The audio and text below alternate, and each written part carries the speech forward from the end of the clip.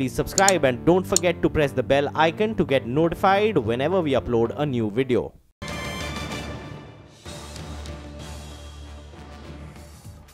Nifty is fast, giving up its gains. Started off quarter percent higher. NBFC sector is facing in growth derating rather than credit concern or liquidity concern. Markets are down 25 points, 11,029. a relief, and uh, I, I think it's a very, very sensible uh, uh, decision. I mean, we really welcome this. Markets have taken a turn for the worse now at the low point of the day. Towards the end, purely because of expiry factors, uh, there was some recovery, and I think crucial levels were defended. 10,950 on the Nifty were defended. Okay. A torrid September series and risk aversion towards emerging markets result in Sensex and Nifty losing 0.6%. Nifty actually ends below 11,000 mid-cap C. Sharper cuts with that index ending at its lowest level in over a year. Short-term bond yields ease after the Reserve Bank of India announces new measures to boost liquidity in banks, but bank stocks remain under pressure. NBFC stocks also take a beating once again. Customs duty on washing machines, air conditioners, refrigerators and compressors have been hiked negative for stocks like Voltas and Havells. Titan, however, sees a relief rally as import duty on gold remains unchanged. Customs duty hike on aviation turbine fuel weighs on airline stocks. A weak rupee and a higher price of crude oil acts as further headwinds for the sector. Import curbs help rupee open strong only to weaken later due to higher crude prices. Oil marketing companies end in the green. Well, those were the top five headlines from a day that Dalal Street will gladly forget. In fact, it is a September that Dalal Street will gladly forget. Hello and welcome to Markets Today Talk Back, the show where we tell you all that happened in the six hours of trading in just five headlines. I'm Lata Venkatesh, with me my colleague Prashant Nair. Hi, Prashant. Uh, the high, you said uh, uh, September markets will gladly forget, but it ain't over yet, right? It ain't over.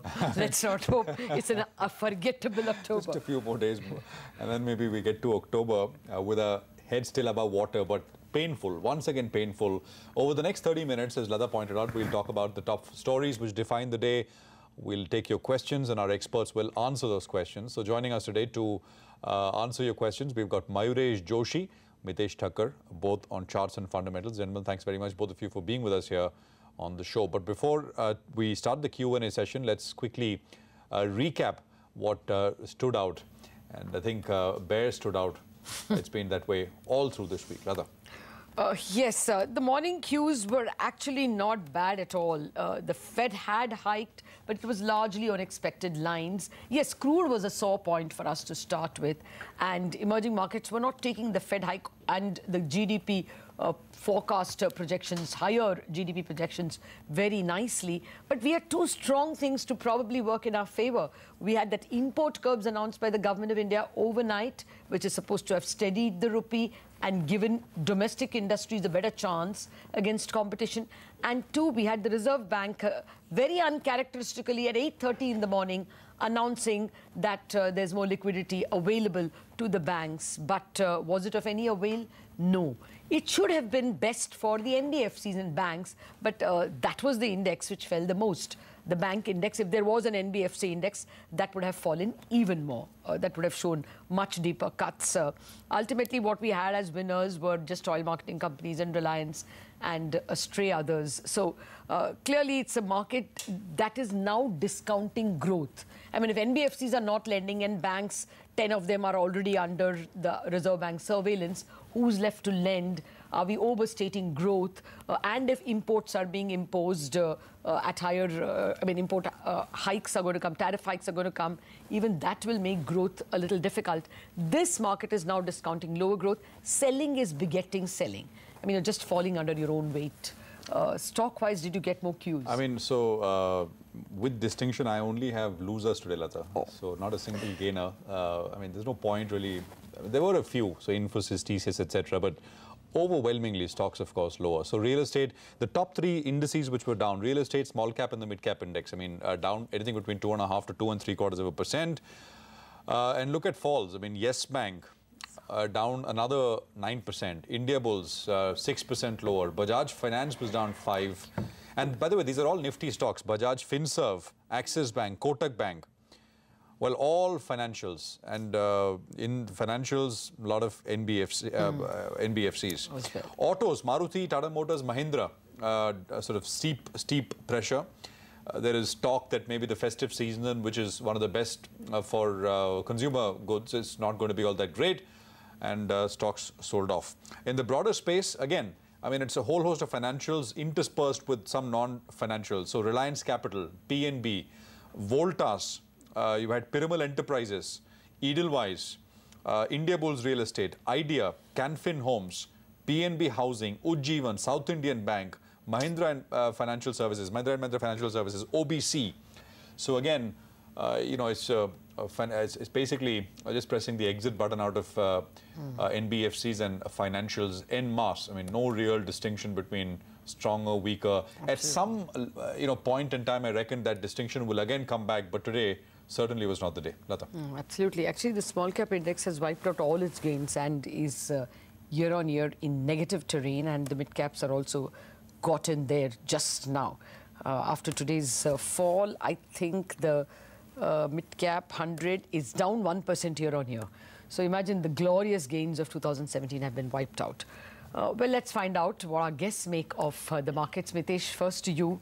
Uh, now that uh, just 11, uh, 10,950 defended, uh, does that mean you don't have to throw in the towel yet? The Bulls, I mean. Yeah, I get it. Uh, evening, Lata. I think uh, it's been defended, but you know, hardly by anything. We have nearly closed only 30 points away, and that could be taken out in uh, tomorrow morning's gap down. My worry is not really about the smaller levels. I think uh, the uh, worry is that the medium and the longer term charts have started to turn negative for the bank nifty. And slowly, I think Nifty is now showing the first signs of crack in the indicator setup on the longer term chart. So, I would be more worried about that. I think uh, in the short term, yes, it could happen that 10,880, which has been the two three days kind of intraday low, uh, could hold, and we might see a choppy consolidation between 10,880 900 on the lower side to roughly about 11,150 on the upper side. But the chances are very bright that we might eventually break on the lower side from this consolidation. If that were to happen, I think we'll see more declines happening, particularly led by uh, underperformance in the financials and the bank nifty. So I think that is a bigger worry. In the short term, it looks like, as I've said, uh, looks like a more of a choppy consolidation between about 250 point kind of range. But I think overall uh, bias slowly uh, and on the medium term charts is slowly turning towards the negative side or corrective side. Okay. Not looking good. Second headline. Uh, okay, so uh, this is the second uh, headline then. The Reserve Bank of India eased cash requirement rules for banks today to boost liquidity in the system. This move by the RBI pulled down the short-term bond yields uh, by between 30 to 40 basis points, but failed uh, to power up uh, stocks, bank stocks and NBFCs. Bank of Baroda, Axis Bank, Bajaj, Twins. I mean, the entire bunch which I read out just a while back, they were all sharply in the red. Lata, I mean, some relief, but clearly not enough. Yeah, you know, basically this is how it works. Banks have to keep 20% of all their deposits in government securities. They have to keep a further about 8 9% as what you call liquidity coverage, also in high quality government bonds.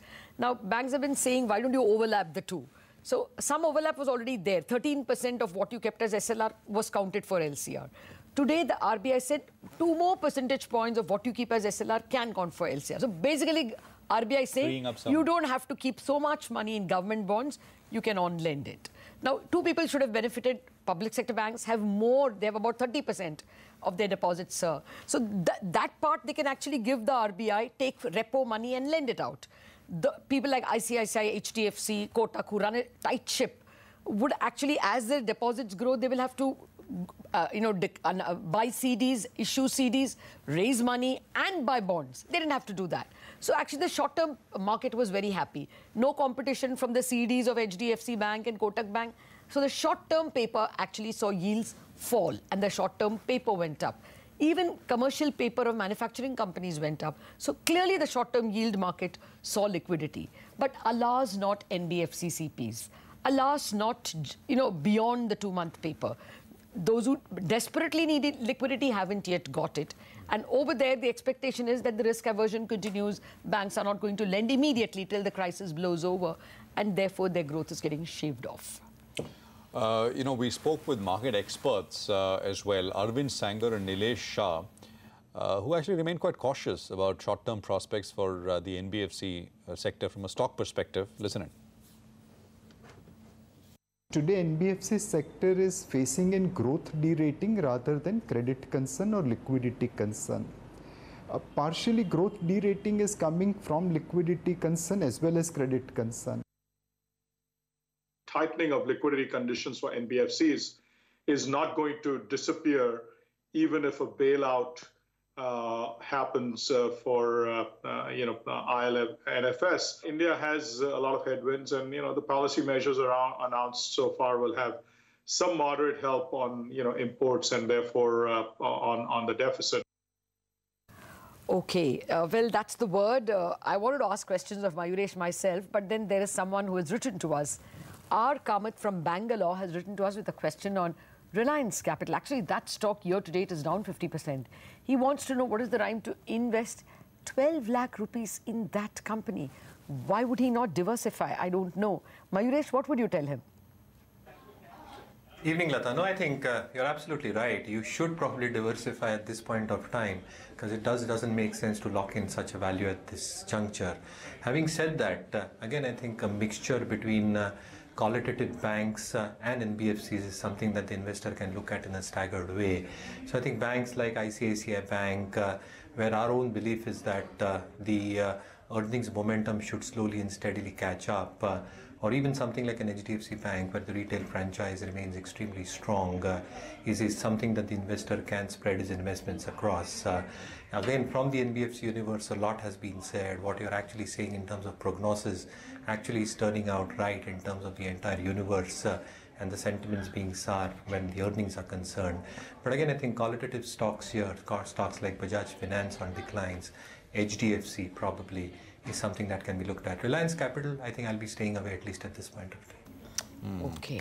Uh, Food for thought, Lata. Maruti, I mean, just as a uh, just as a thought, is down 30% from its highs. Okay. So Reliance Capital, you know, mm. there are there are no, there are lots of year to date. Uh, if you pick names. up any of the yeah. uh, NBFCs, they are uh, lower. Yeah. Even Bajaj Finance is lower. Yeah. So uh, obviously, Reliance Capital not of the same franchise or, uh, yeah. or quality as Bajaj Twins. But there's, there are more finance questions. This is Rahul K. Uh, who has write, written to us from Madhya Pradesh. His query is on ICICI Bank. He's been holding 200 shares of the bank, which he purchased at 292 rupees. Wants to know outlook on the stock. 200 at 292. Uh, what would you say is, say, the next one year or next six month outlook, uh, uh Mitesh? I'm quite positive. In fact, uh, on both uh, Axis and ICICI Bank, my belief is that the uh, chart sector has improved. I think he's bought at a good price. I don't think there's downsides below 275, 270. So in that sense, there could be a 10% correction happening over here maximum. That's you know hitting the longer term support areas. But my sense is it might not happen. In fact, uh, after this correction plays out, the stock might get into an uptrend again, head towards targets of 360, and once that has been crossed, 430 is the uh, target which I would have for about 9 to 12 months. Okay, uh, Mitesh, thanks very much. Uh, Mayuresh, uh, stay with us. We're taking a very quick break here. Uh, we come back and uh, we'll get uh, more questions and we'll have our experts answer them. We're also, in, in the meanwhile, listening to some market opinion that we got earlier from uh, Kartika Capital. and we're back in a jiffy. Our time frame is, is longer term, is two, three years or even beyond. So on that time frame, we still see a lot of opportunities in India. So if anything, we would use this correction as an opportunity to add to our positions. The dollar could be, you know, could be turning in the near term, near to medium term.